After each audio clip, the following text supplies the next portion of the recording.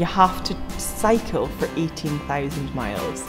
Your whole journey must cover the, the, same distance as the circumference of the world, so that is 24,900 miles. You have to be going in an easterly or westerly direction primarily, and you have to pass through two polarised points on the planet. So mine were New Zealand and Spain.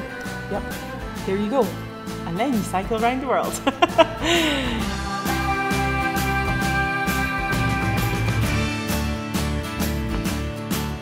It's like half nine in the morning and I've been riding since three o'clock yesterday afternoon. Um, I should totally be in bed by now.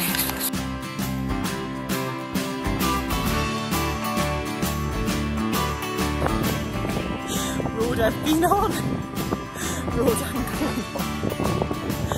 I'm like, oh wow. I think I've got 300 kilometres left